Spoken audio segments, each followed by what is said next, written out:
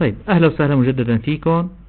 نحن هلأ بالملف الثالث ب Microsoft Project إذا كنا شفنا بالملف الأول والثاني أساسيات البرنامج وكيفية إدخال مجموعة الأنشطة والأنشطة السابقة والمدد الزمنية وبالتالي الحصول على مخطط Gantt والحصول على آه، مدة المشروع. هلأ رح نتابع بأول شيء بشغلتين ثلاثة حول الأنشطة. أول شيء رح نشوف آه،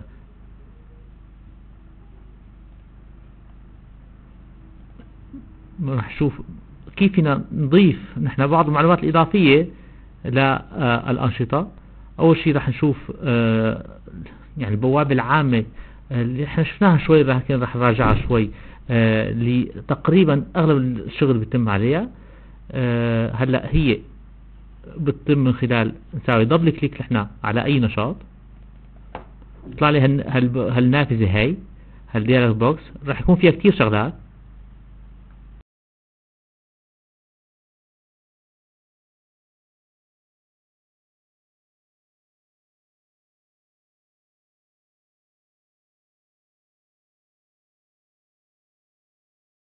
هلا أول شيء البوابة الأولى اسمها جنرال راح يكون بقلبها النقاط الأساسية. اسم النشاط والمدة الزمنية تبعيته نحن فينا نغيرها من هون. طبعا فينا نغير كل شيء من خلال النافذة هاي. آه راح يكون في عندي تاريخ البداية تاريخ بداية هذا النشاط وبيحسب لي تاريخ البداية تاريخ النهاية يعني آه بناء على المدة الزمنية اللي حطيناها فوق. طبعا حطينا يومين. بشوف ال calendar بيحسب يومين عمل. طبعا ما بيحسب الأيام اللي ما فينا نشتغل فيها. هلا البوابة الثانية فيها اسمها predecessor predecessor راح يكون فيها مجموعة يعني من الأنشطة التي تسبق هذا النشاط الحالي وبمختلف أنواع العلاقات ال finish to start start start start to finish و finish to finish مع lag ومع lead هلا البوابة الثالثة رح. رح. يعني نعالجها لاحقا وقت نشتغل على الموارد أه بدي أحكي شوي على البوابة الرابعة ال note ال note فينا نكتب شو ما بدنا هون نص حر. بالعربي الانجليزي بكون إن هذا النشاط هام ويجب آه، عدم التسرع. يعني فينا نحط ملاحظة بدي اياها okay؟ طبعا بالإنجليزي أو بالفرنسي أو بالعربي إلى اخره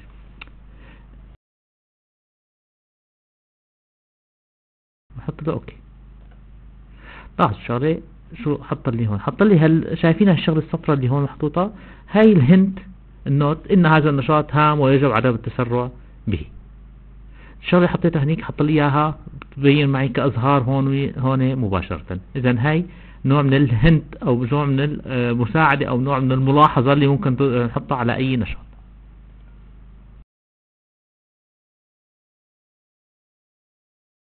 هلا مثلا فينا نحط على ال interview كي بيرسون نوتس راح أحط الملاحظة التالية we will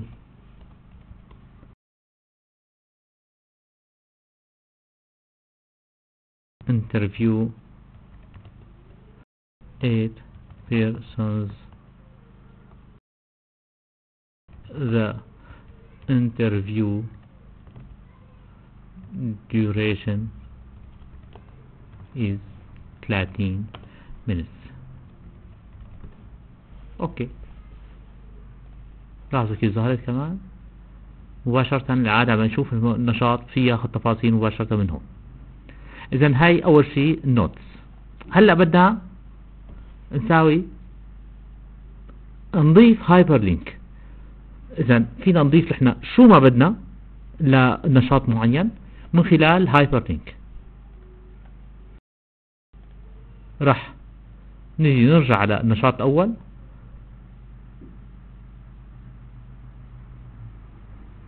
نعمل له double click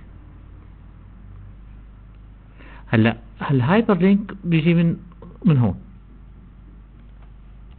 اذا من هال insert object بنقر عليها؟ هلا بقول لي بقول له create from file. إذا نحن عم ننشئ هون link.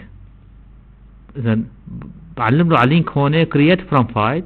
ولا هون بجيب له براوز وهو يروح نقي لي من أي مكان.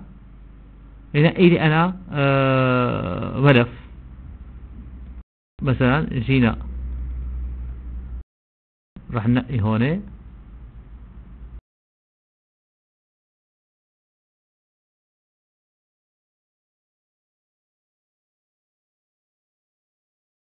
اي ملف أنا حطيته هي. طبعا ممكن يكون شو الملف اللي ممكن نحطه محل مثلا؟ ممكن نحط إحنا الاستمارة. تبع اللي يعني الاستمارة اللي, اللي بدي أستخدمها بعملية المقابلة. آه، مجموعة الأسئلة اللي لازم أسألها وجاوب آه، عليها مع كل شخص مثلا على سبيل المثال. نقول له okay لاحظوا حط لي إياها هون. نقول له okay. هلأ صارت موجودة. كيف بدنا نرجع كيف بدنا نشوفها؟ نقدر double click على آه، النشاط ال note تيجي عندي هون الملف. بعمل له double click عليه بيفتح لي إياه. اذا صار مثل نظام معلومات فينا نحط أنا شو ما بدي ملفاتها. هلا هون حطينا إحنا ملف صورة فينا نحط ملف Excel فينا نحط ملف Word فينا نحط ملف فينا نحط لينك لإنترنت فيني أحط بدي إياه. اذا هاي النقطة الثانية اللي كان بدي أحكيها آه، حول التعامل مع الأنشطة.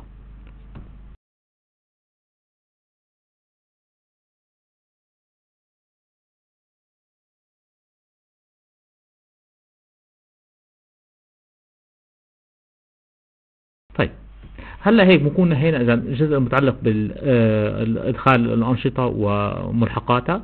هلا رح ننتقل لحتى نساوي resource management أو إدارة الموارد في هذا المشروع باستخدام مايكروسوفت هلا بذكر الموارد إحنا ما فينا ننهي أي نشاط من دون موارد. إذا الموارد إلى عدة أشكال مثل ما شفنا بالمحاضرات الأشخاص والمواد والتجهيزات. وبيتم التعامل معهم بحسب هالأنواع هي. بس كيف كيف بتم آه، التعامل مع الموارد باستخدام برنامج؟ في صفحة خاصة بالموارد. أول شيء بندخل شو هي الموارد. بعدين بنخصص الموارد للأنشطة. إذا ما رح ندخل موارد مباشرة لأنشطة المشروع. أول شيء بندخل شو هي الموارد المتاحة الموجودة عندي. وبعدين بسوي عملية assignment لكل نشاط شو هي الموارد بحاجتها من مختلف أنواع الموارد. أول شيء بدنا ندخل الموارد الخاصة بالاشخاص اذا عندي ثلاث أنواع موارد بالموارد الخاصة بالأشخاص. رح نعتبر إنه عندنا نحن خمس أشخاص بيشتغلوا بهالمشروع. كيف ندخلهم؟ رح نروح على view resource sheet. شايفينها؟ اذا view resource sheet. نافذة أو صفحة الموارد. قل له okay. طلع لي جدول من جدول Excel. هلا هون راح ادخل الموارد كما يلي. اذا راح ادخل اسم الشخص سميث أول واحد. آه، ال type تبعه. لاحظوا في عندي work و material هو work. okay.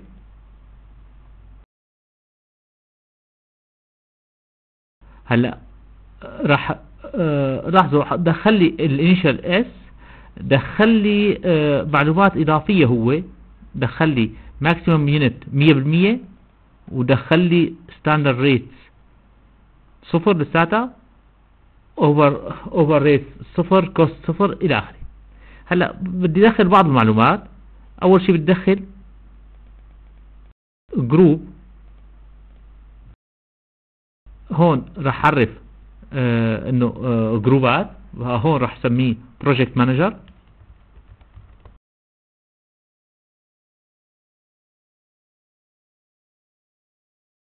هلأ standard rate رح أحط بيكلفني standard rate 40 دولار بالساعة. هلأ هون طبعا محطوطة هون آه، الليرة اللبنانية بالساعة. نحن بدنا نغير العملة إذا من format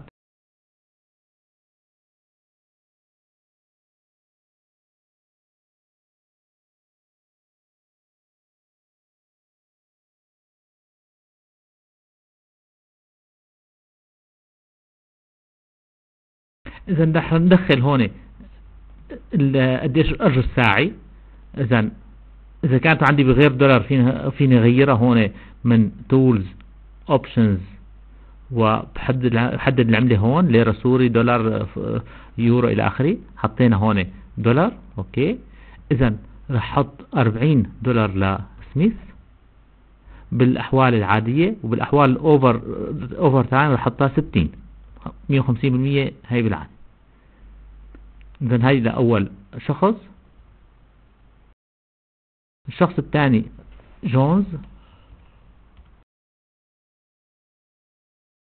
نوعه work initial جونز ال group تبعه رح أحطه analyst وراح أحط إنه الأجر تبعه maximum unit يعني عندي واحد هون 100% ال maximum unit يعني عندي شخص واحد okay؟ لو كان مثلا عندي أنا حاطط عامل فيني أحط ثلاث عمال بحطها 300% اذا أجره العادي 35 دولار بالساعة الأجر ال overtime 57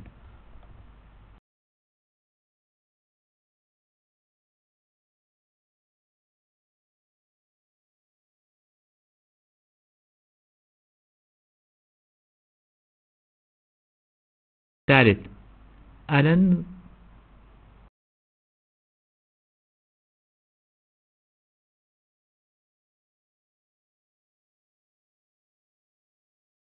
عملوا admin مية بالمية عندي شخص واحد أجره خمسطعش دولار بالساعة واثنين وعشرين بال overtime عندي بيكر work بيكر عملوا programmer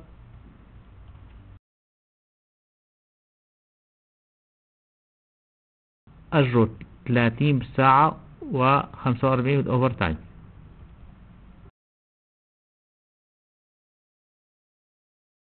وعندي آخر واحد. كين. وورك وعملوا ترينر وأجره عشرين وثلاثين. هلا هيك بنكون دخلنا؟ نحن المعلومات الأساسية للموارد بالنمط people.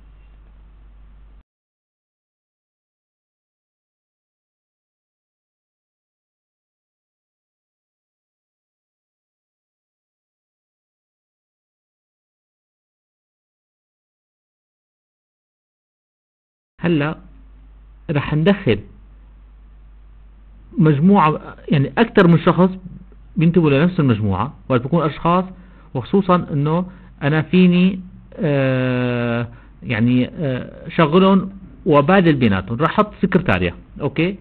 راح ندخل ثلاثة سكرتاريا وراح نحط نمطهم سكر secretary. إذا راح أحط سكري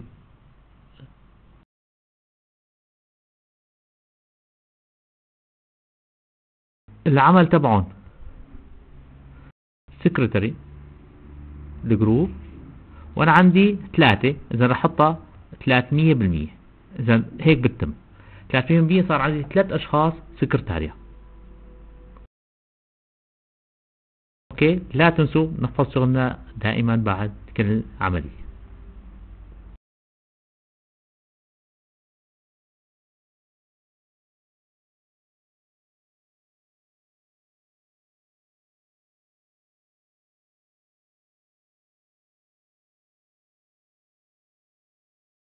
طيب.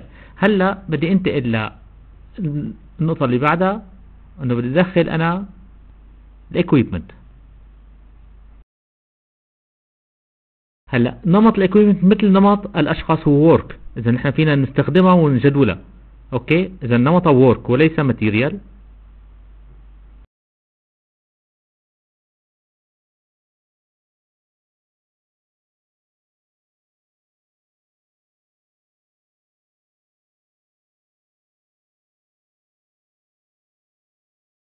رح ندخل بهالتمرين هلا. ثلاث أنواع من ال material.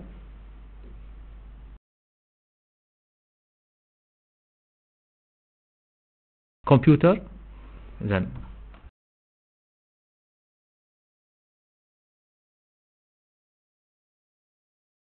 رح سميه هون CT لحتى نميزوا عن الأشخاص هون رح حطوا رقمين. اذا CO نمط work ال group كمبيوتر. عدد الكمبيوترات ثلاثة إذا أحط هون 300% طبعا فينا نزيدها وننقصها بهالأسهم هاي أو نكتبها كتابة.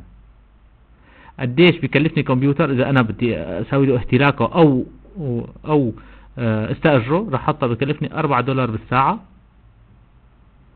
overtime كمان 4 دولار بالساعة الحقيقة ما في مفهوم overtime لل equipment بده يكون نفس الكلفة بالضبط.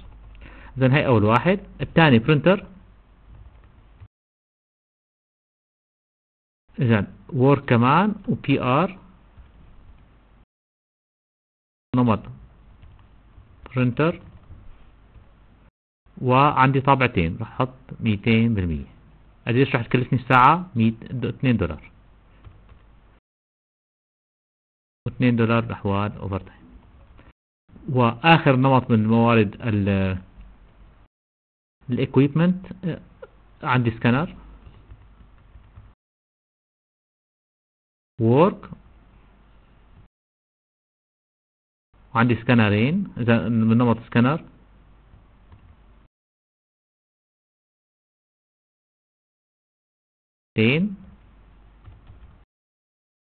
بكلفني 2 دولار بالساعة. نحفظ شغلنا. هيك بنكون دخلنا الموارد من نمط equipment.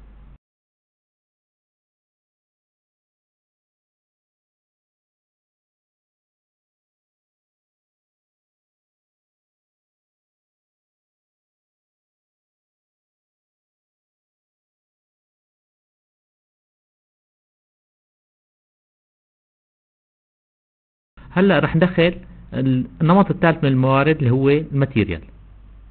هلا ال material هي المواد اللي رح نستخدمها بشكل عام. بقى هون تختلف طريقة المعاملة تبعيتها عن المواد عن التجهيزات والأشخاص. رح ندخل المواد التالية.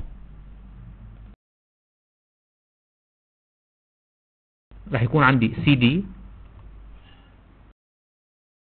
هلا هون النمط تبعه راح نغيره راح احطه material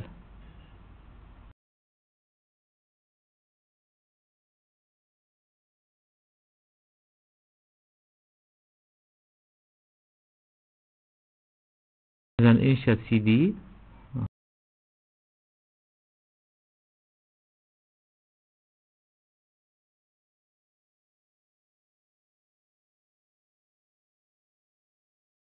ستاندرد ريت راح احطها لاحظوا هون ما عاد عندي أنا بالساعة.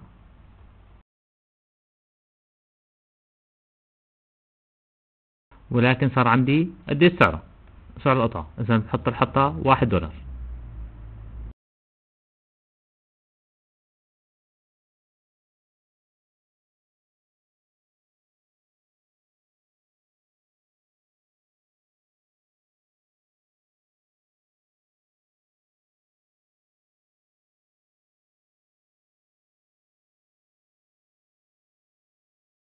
الثانية DVD من نمط material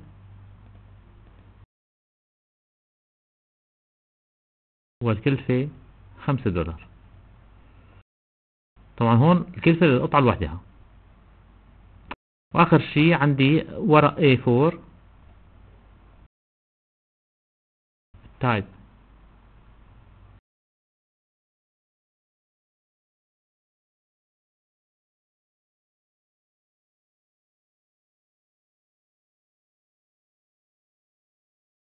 الكلفة عشرة دولار. نحن عم نحكي لاحظوا هلا إذا أجيت كتبت ال maximum unit ما ما ما اعطيني ما إتاحة للكتابة أو للتغيير. okay؟ اذا ما في إتاحة للكتابة أو التغيير.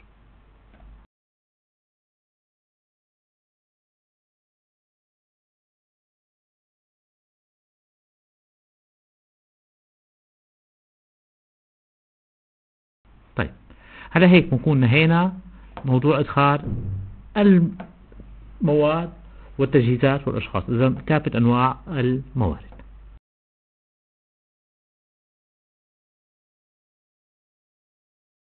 هلا في بعض الأحيان خصوصا بالنسبة للأشخاص ممكن يكون في الكالندر مختلف. يعني أوقات الشغل تبع الناس مختلف خصوصا موضوع الإجازات. أنا هون مايكروسوفت بيعطيني إمكانية إنه أنا أحط calendar عدل ال calendar لمجموعة resource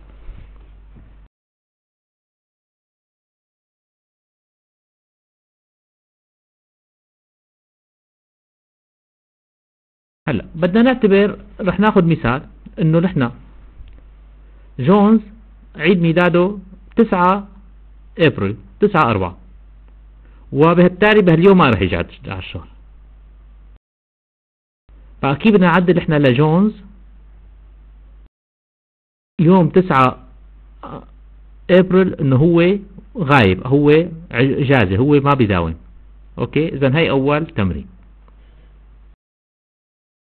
هلا العملية بتتم بكل بساطة بروح على جونز.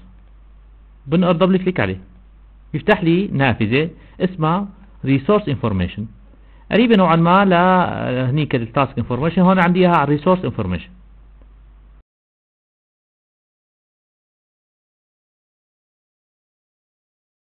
رح نجي على البوابة اذا البوابة الأولى اسم جونز المعلومات اللي دخلناها نحن الحقيقة. البوابة الثانية ال working time هلأ بيجي أنا 9 ابريل دور على هلأ هون عندي إياها جانيوري فبراير ابريل هي 9 ابريل بكون نهار 4 أنا هاليوم هذا بالنسبة لجونز ما نو available بحط non-working non-working time لاحظوا كيف صار؟ اذا حط لي خط تحت التسعة وسواها رمادية بحط له okay. هلأ دغري حسبه إنه هو ما راح يداوم. أي وقت بدي أنا خصص موارد بهاليوم هذا ما راح يشتغل فيه جونز. هلأ بيكر مبرمج. والمبرمجين كتير قلال آه هو يعني آه من منطق إنه هو في ندرة باختصاصه هو فارض إنه إمتى بيقدر يجي على الدوام إمتى بيروح. بقى بيكر بيجي على الدوام الساعة 10 مو مثل الناس الساعة 8 ونص وبتناول الغداء من 2 ل 3 وبيتم للسبعة المساء. وهيك متفق مع مع مدير المشروع. اذا بيجي الساعة 10 استراحة الغداء من 2 ل 3 وبيضل الساعة 7 المساء. فبدنا نعدل إحنا هالأوقات لبيكر. نرجع على بيكر double click عليه. هاي ال working time بيجي أنا. بعد بعلم كل شيء أيام عمل. وبيجي هون. بدال 8 ونص رح أحط 10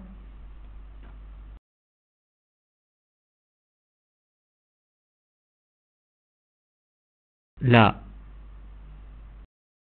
قلنا لا آه، من عشرة لتنتين اذا للتنتين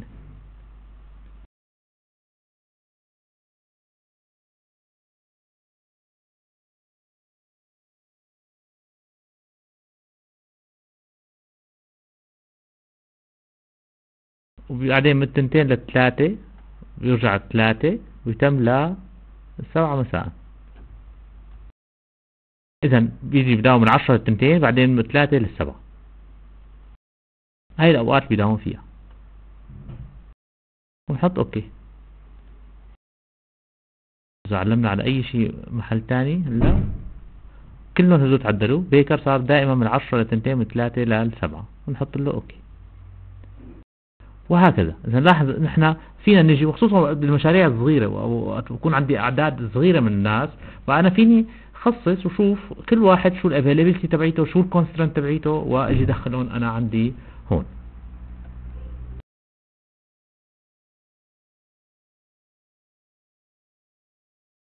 هلأ في عنا إمكانية نحن نضيف موارد معلومات حول, حول أي مورد معلومات قيمة حول أي مورد من خلال مفهوم ال note اللي شفناها هلأ بشوي من شوي على الأنشطة.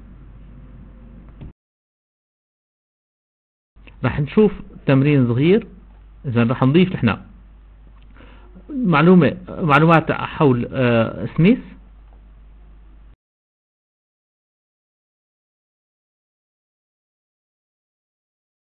هاي سميث نجي على سميث double click في عندي notes هون إذا في عندي بوابة notes وفيني أحط أنا المعلومة اللي بدي إياها. مثلا هون أنا رح أحط سميث. The project ما will be absent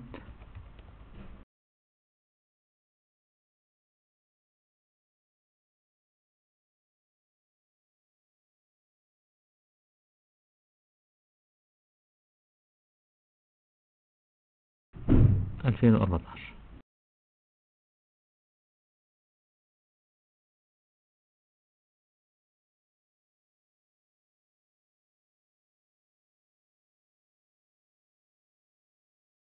when he is absent Jones will take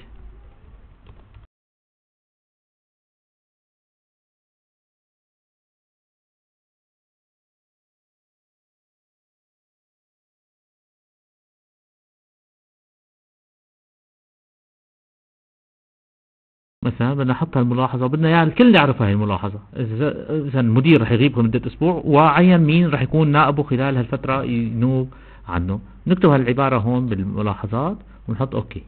لاحظوا بيطلع عندي كمان هيك مثل هي هيك ورقة صفراء. إذا قربنا عليها الفارة رح يطلع عنا الملاحظة. لأي واحد يحط هالفارة رح يطلع عنده الملاحظة اللي كتبناها من شوي. okay؟